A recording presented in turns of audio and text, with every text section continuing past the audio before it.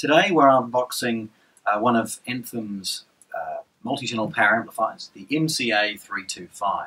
This 3 by 225 watt power amplifier is an excellent example of uh, multi-channel power amp for the use of home theatre, um, where the left, centre and right speaker are, are driven uh, perfectly in a balanced way. Okay, so Anthem.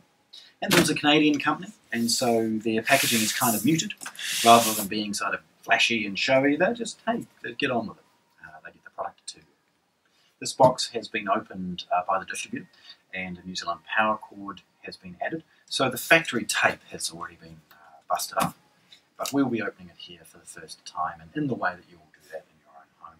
This is the 220, 240 volt version, and you'll see the model and um, serial number of at end of the packaging with basic information about it and on the other. Um, right, here we go, I guess. Um, oh, just pointing out on one end we've got the model and serial number. It's only on one end. Um, so, yeah. Right. Now, this has been um, sellotape closed, good old fashioned packing tape. So that's pretty easy for me to open.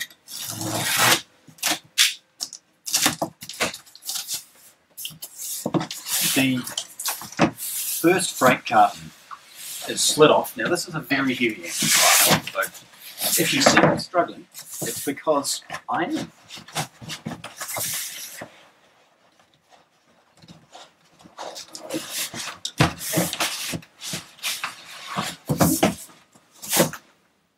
Okay, so the other freight carton is, an excellent um, little addition. It uh, saves from a lot of bruising and packaging.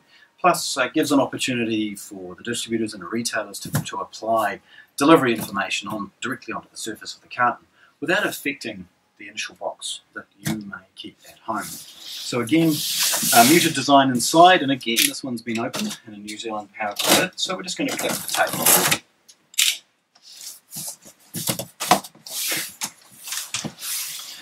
Now, being a power amp, it's not going to be full of accessories. Um, there's barely enough to get it going, and that's all that it needs. A New Zealand power cord, closed cell foam packaging. Um, reveals the amp. Now I'm going to really get this one out.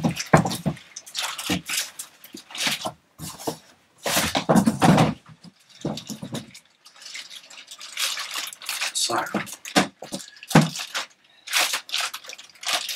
power amplifier has, is sealed inside a bag using some good solid tape.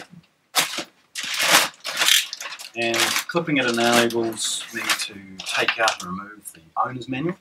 Uh, this is bilingual, so it's French and, and uh, English. And in it is a spare fuse and a basic warranty card.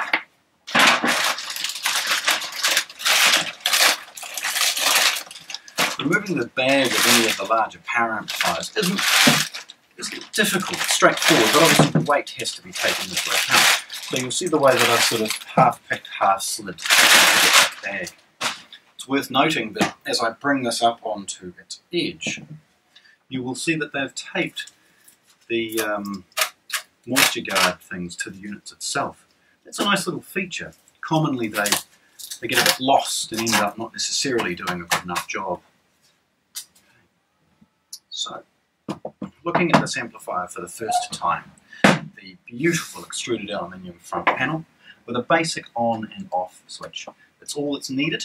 Then the in, um, you've got the ability to trigger it from the rear, which we'll see. If I'm going to tip that forward, you will see that the amplifier is somewhat modular in its design, and you'll also see good ventilation and, grills enabling the amplification stages to keep themselves cool without the necessity of a fan. Uh, the power supply is in the front of the unit, making it relatively easy for me to pick up and tip forward, but overall the, the, the weight is, uh, is very heavy.